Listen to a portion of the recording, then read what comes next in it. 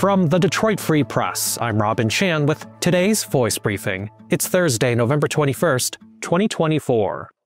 From the Detroit Free Press, I'm Dana Afana. The city sent out notices to homes with lead service lines or unknown material that may be lead, as required by the EPA. This alarmed several residents. As of November, the EPA requires every municipality with lead service lines to mail the notification letters. But on Tuesday, Director Gary Brown of the city's Water and Sewerage Department told Detroiters not to fret. Brown assured multiple times that the city's drinking water is safe and below the actionable level of lead. Detroit has about 80,000 lead service lines out of 300,000 service lines. Those notices were intended to alert customers of those lines, which the city is currently working on replacing using various grants. Brown said water is tested before it leaves treatment plants operated by the Great Lakes Water Authority and that there is no lead in the water distribution system. But the Water Authority adds a protective additive to the water for protection for those who have lead in their homes.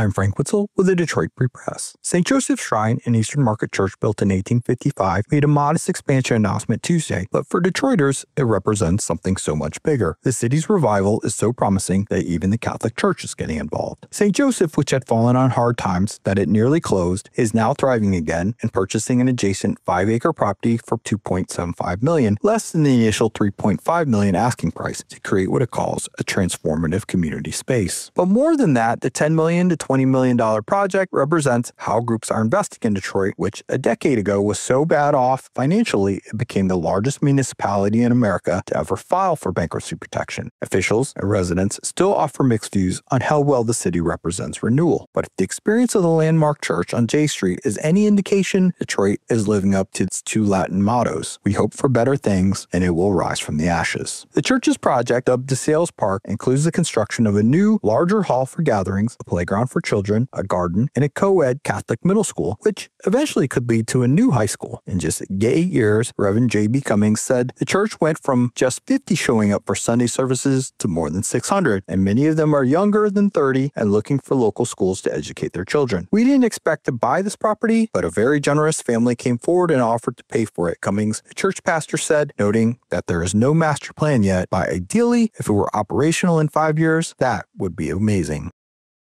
Hi, I'm Bill Laitner at the Free Press in Detroit with a good news story about Birmingham's apartment tower, Baldwin House Senior Living. Well, that was the name until early this year. Owners renamed it the Baldwin on Chester. At the same time, they ended amenities that seniors loved. It looked like the owners were switching to conventional apartments at market rents, away from offering senior services with some units at affordable housing rents. Yet this week, everything went back the seniors' way. City officials approved new operating rules for Baldwin House. Turns out the owners needed the city's blessing before they'd qualify for easy financing with federal aid, so the Baldwin House residents will get back many senior services, and the building will offer even more units at low rents for low income tenants. To learn about the amazing history of Baldwin House and the role of former Mayor Dorothy Conrad, see my story at freep.com.